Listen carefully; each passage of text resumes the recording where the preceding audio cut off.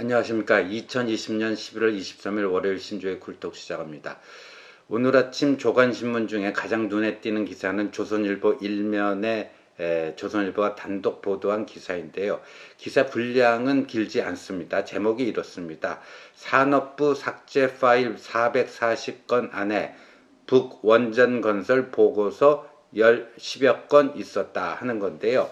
월성 1호기 감사원에서 감사 결과 보고서 어, 제출했고요. 아, 지금 이제 대전지검에서 열심히 수사하고 있지 않습니까? 아, 이 관련 내용인데요. 그러니까 작년 12월 2일에 감사원이 산자부, 산업자원부 거기 감사하기로 예정이 돼 있었는데 그게 월요일이었어요. 근데 하루 전날 12월 1일, 작년 12월 1일 일요일 밤 11시에 산업부 국장의 지시를 받은 한 직원이 일요일 밤 11시에 사무실에 들어가서 아, 산자부 건물은 세종시에 있습니다. 음, 그래서 무려 444건의 문서를 삭제한 아, 이런 일이죠. 그래서 이것 또한 그 증거 인멸, 아, 또 공문서 아, 폐기 뭐 이런 등등 이것도 지금 수사 대상에 올라가 있는데요. 그 감사원이 444개 파일이 삭제된 것은 그 다음날 감사 에서 그 PC, 그 산자부 PC를 통해서 확인을 했고요. 그 중에 다행히도 324건은 복원을 했습니다. 그런데 120여 건, 120건에 대해서는 복원을 못했어요. 그런데 그 복원된 324건 문건 중에 북한 원전 건설 관련된 보고서가 10여 건이 있었다 하는 게 오늘 이제 조선일보 일면 단독 기사의 핵심 내용입니다. 그 10여 건의 보고서의 제목을 보니까 이렇습니다. 북한 지역 원전 건설 추진 방안, 북한 전력 인프라 구축 협력 방안, 한반도 에너지 개발 기구 캐도 업무 경험 전문가 목록 그 캐도라는 거는 이제 1990년대에 북한의 경수로를 지어주기 위해서 만들어졌던 국제협력기구인데 또 이따 자세히 설명드리겠습니다. 이런 한 문건들 북한 원전 건설 관련된 문건이 10여 건 발견이 됐다. 그런데 이게 작성된 시점을 보니까 2018년 5월 초중순이더라. 2018년 5월 초중순이더라. 그런데 고 2018년 4월 17일에 무슨 일이 있었죠? 예, 무슨 일이 있었죠? 판문점에서요, 어, 문재인과 김정은 간에 그때 왜 평양냉면이 유명해진, 아, 김정은이 평양에서 멀리서 평양냉면 갖고 왔다 해놓고 뭐 자기 여동생 쳐다보면서 멀리서 왔다고 하면 안 되겠구나. 뭐 그래 그러면서 평양냉면 우리 우리 뇌리 속에 그 남, 남아 있습니다. 그게 이제 4월 27일 판문점 회담이에요. 예. 그게 그러니까 2000년 6월에 이제 김대중, 김정일 1차 남북 정상회담이 있었고요. 또 2007년 10월에 노무현, 김정일 2차 남북 정상회담이 있었고 제3차 아, 남북 정상회담이 2018년 4월 17 4월 27일 판문점에서 있었는데 요 원정 관련 보고서가 작성된 시점이 그 판문점 남북 정상회담 직후다.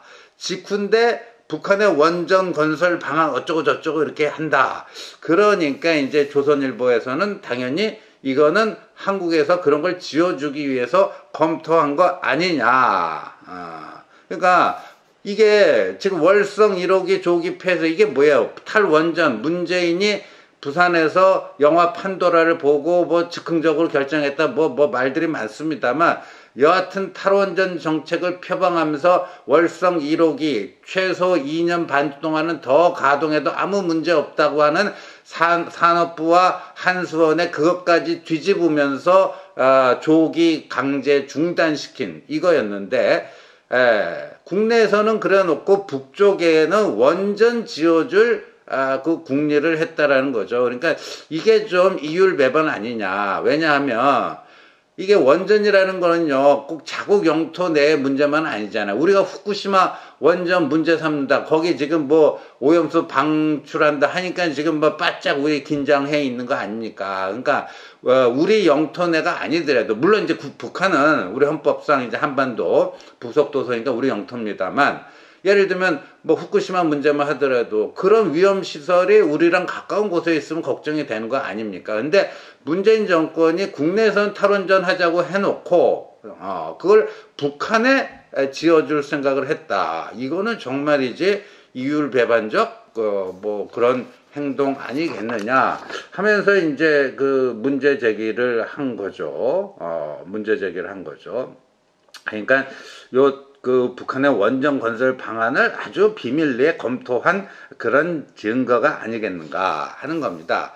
그러니까 이 기사는 뭐 긴 기사가 아니에요. 그러니까 그, 아, 그러니까 감사원이 444개 어, 삭제된 파일 중에 324개를 복원을 해냈는데 그 중에 10여 건이 북한 원전 관련이었다 하는 거를 이제 입수한 거. 그거 팩트가 딱 하나 있는 거고, 그게 작성된 시점이 2018년 5월 초중순인데 그 직전에 4월 27일 판문점 문재인 김정은 회동이 있었다.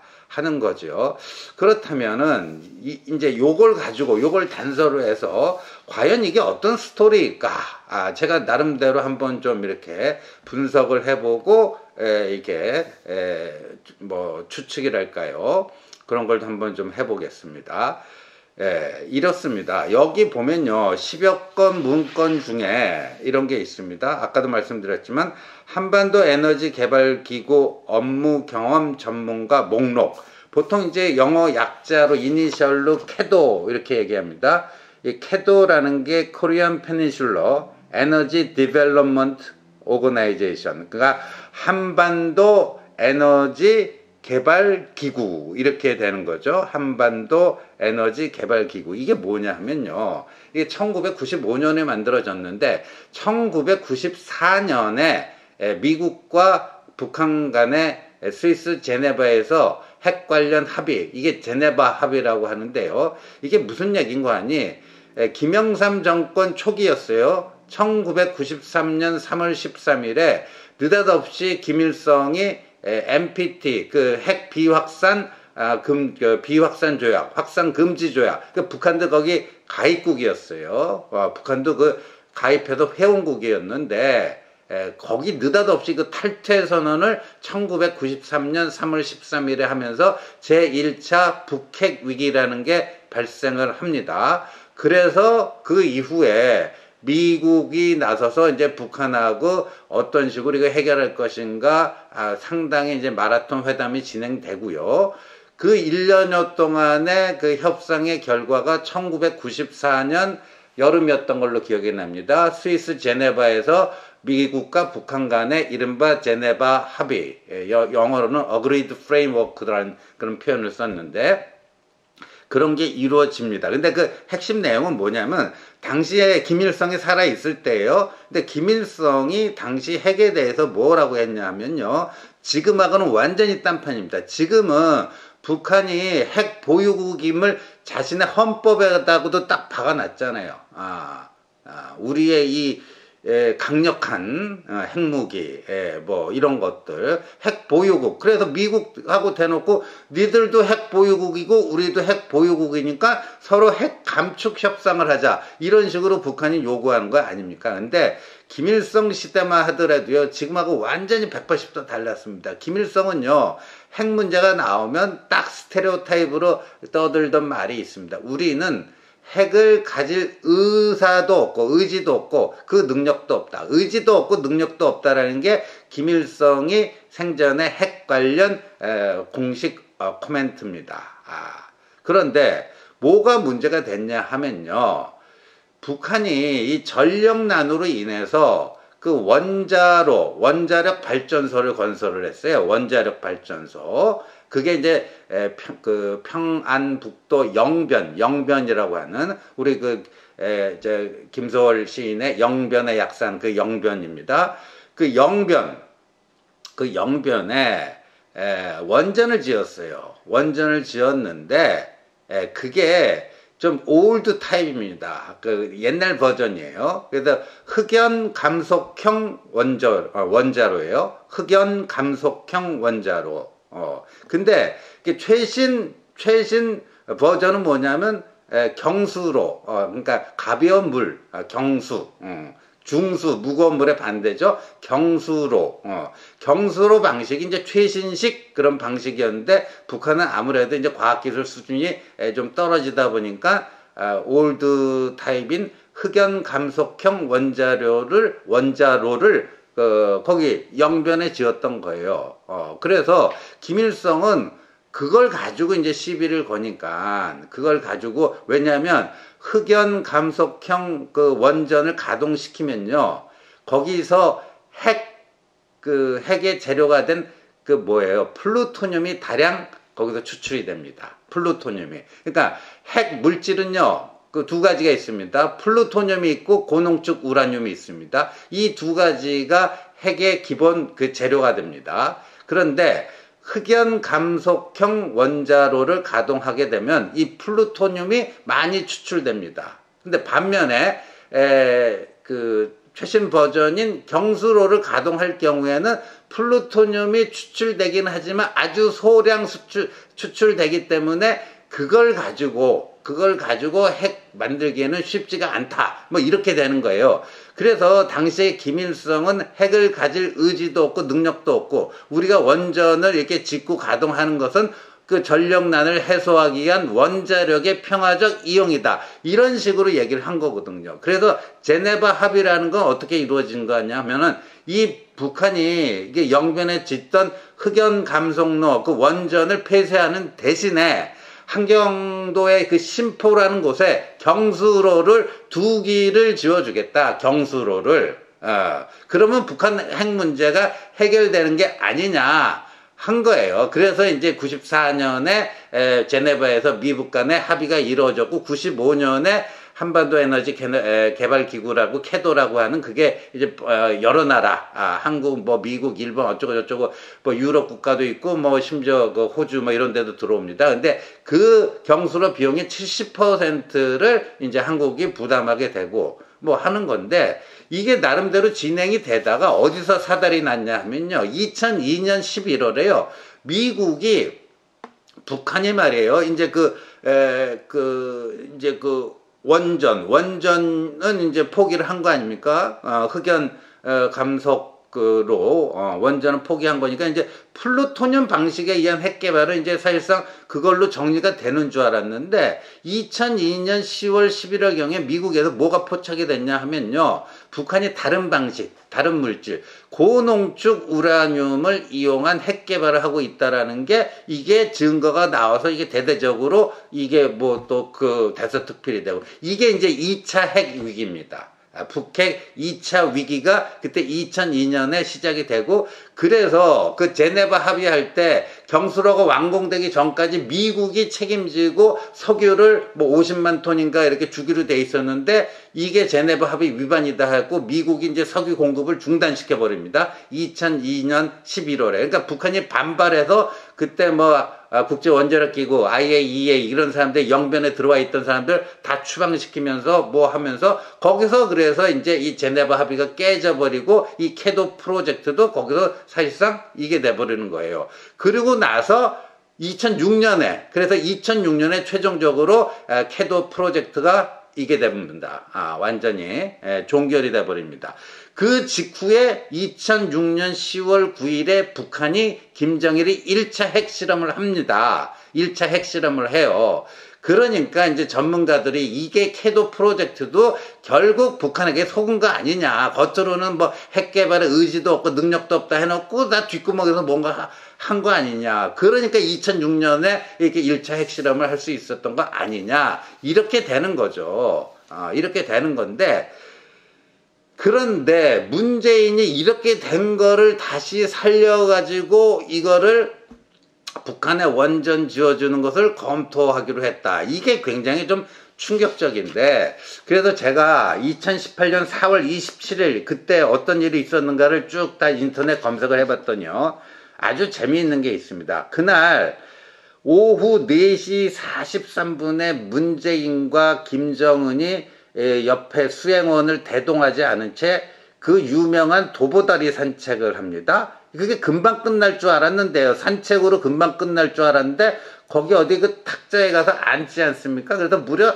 30분 동안이나 두 사람 단독으로 대화를 이어갑니다. 그런데 그게 카메라에 포착이 됐는데 카메라에 포착이 됐는데 거리가 너무 있기 때문에 새소리 말고는 그 두 사람의 목소리는 전혀 카메라에 담기지 않았습니다. 그래서 그 도보다리 그 앉아서 두 사람이 30여 분 동안 도대체 무슨 대화를 한 것이냐 이러저런 그 얘기가 많았는데 확인할 길이 없었죠. 그래서 그때 어떤 기법까지 동원이 됐냐 하면요. 이 청각 장애인들이 입술 모양을 보고 그 무슨 말을 했는지를 알아맞히는 이 독순술, 입술 순자입니다. 입술을 읽는 어, 기술이죠. 독순술. 이 독순술까지 이용해가지고 그때 그걸 했는데 KBS가 그 방식으로 해서 최초로 그 관련 보도를 했는데 그 두 사람이 에, 그러니까 미국과 북미 대화, 북미 대화 관련 내용을 아, 얘기한 거다 하고 이제 에, 보도를 했어요. 북미 정상회담.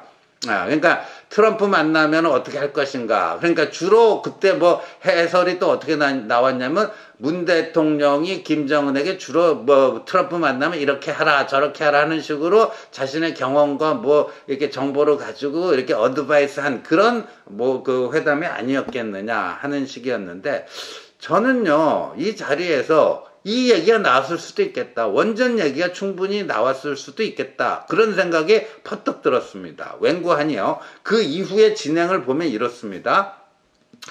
이게 2018년 그 4월에 있었고 또 5월에 또 깜짝 2차 남북정상회담 잠깐 만나고 오는 거, 그 비공개로, 비밀리에 만나고 와서 나중에 공개하게 있었고, 그게 6월에 이제 지방선거 있을 때 이제 그 트럼프하고 김정은하고 싱가포르에서 회담하고, 근데 2002년 이제 하노이, 베트남 하노이에서 노딜로 끝나면서 이제 한반도 평화쇼는 그때 이제 막을 내리게 되는 거 아닙니까? 실질적으로. 근데 2002년 하노이 no deal 때 보면 김정은이 영변, 어, 그 영변 핵시설을 폐쇄하겠다라고 하는 카드를 들고 나오고 그 대신 미국이 제재 풀어달라. 뭐 이렇게 얘기한 건데 트럼프는 no 했어요. 그거 갖고는 택도 없다. 하면서 트럼프가 한 대여섯 곳 이것까지 다 포함시켜야 된다 하면서 그 리스트를 디밀었다는 거 아닙니까? 그러니까 김정은이 굉장히 당황스러워 했고 그래서 거기서 그게 파토가 났다. 뭐 이렇게 전해지고 있는 겁니다. 그게 하노이 노딜의 그 뭐 이제 저, 어, 후일담인데요. 근데 문재인이 평상 그 전후에 무슨 얘기를 했냐면 북한의 영변 시설만 폐쇄되는 것만으로도 비핵화의 큰 진전이다. 이런 표현을 씁니다. 이런 표현을 써요. 그러니까 문재인의 북한 비핵화 수준이라는 게 김정은이 생각했던 거랑 비슷한 겁니다. 영변 그 핵시설, 영변 핵시설만 쫙 정리하면은 큰 거는 다 해결되는 것처럼. 근데 그거는 트럼프조차도 받아들이기 힘들었던 거고 그래서 하노이 노딜이 된 겁니다. 그러니까 문재인과 김정은 사이에는 그 영변 이런 걸로 이제 뭐 북한의 비핵화가 상당히 진전됐다 하면서 국제사회의 북한에 대한 경제 제재를 해제를 하면은 그때 남쪽에서 원전을 이렇게 지어주는 어, 북한에 지, 어, 지어주는 이런 식의 이 국리를 한 게 아닌가. 이게 거의 저는 이게 제 나름대로 분석해서 하나의 그 뭐 시나리오를 제시하는 겁니다. 아, 제가 제시하는 시나리오에 뭐 여러 가지 허점도 있고 어, 틀릴 수도 있지만 제 나름대로 합리적으로 분석해 보면은 그런 시나리오 아니냐. 그러니까 2008년 판문점 회동 이후에 돌아와서 그 그리고요 2018년 판문점 거기 보면요 판문점 선언에 이런 대목이 있습니다. 예, 두그 정상 간의 판문점 선언, 남과 북은 민족 경제의 균형, 균형적 발전과 공동 번영을 이룩하기 위하여 14선언, 그 노무현 김정일 그 2007년 14선언에서 합의된 사업들을 적극 추진해 나가며 그때 14선 합의된 거 보면요 주로 그 경제협력 프로젝트들이 엄청 많았습니다. 아, 그런 사업들을 적극 추진해 나가며 1차적으로 동해선 및 경의선 철도와 도로들을 연결하고 현대화하여 활용하기 위한 실천적 대책들을 취해 나가기로 하였다. 그래서 이 철도 연결은 공식적으로 발표가 된 거예요. 그래서 그때 그거 판문점 회동 끝나고 나서 현대 롯데 뭐 이런 거그 그 철도 관련 그 주가가 막 폭등하고 그러지 않습니까? 근데 이때 비공개로 얘기된 게 저는 원전이다 이렇게 봅니다. 철도는 공개적으로 대놓고 얘기해도 돼요. 근데 원전은 되게 민감한 그 프로젝트다 보니까 공개할 수는 없고 어, 이게 비공개로 원전 철도 얘기만 된 게 아니라 원전 얘기도 된 거다. 그게 도보다리 예, 도보다리 회담에서도 원전 얘기가 오고 갔을 가능성이 대단히 높다. 그렇다면 문재인이라는 사람은 남쪽에서는 원전 아, 탈원전 하겠다고 하면서 이걸 가지고 아, 북한에 아, 김정은한테 지어주면서 아, 그 남북 관계 뭔가 이렇게 좀 아, 아, 평화 쇼를 위한 도구로 사용하려고 했던 게 아닌가 이렇게 보여집니다. 만약 에, 제가 부, 음, 나름대로 지금 에, 이게 추정한 이게 에, 진실과 부합된다면 이건 정말이지 아주 아주 아, 국가의 기광을 아, 물랑케 한 중대 사건이라 하지 않을 수가 없을 것 같습니다. 시청해 주셔서 감사합니다.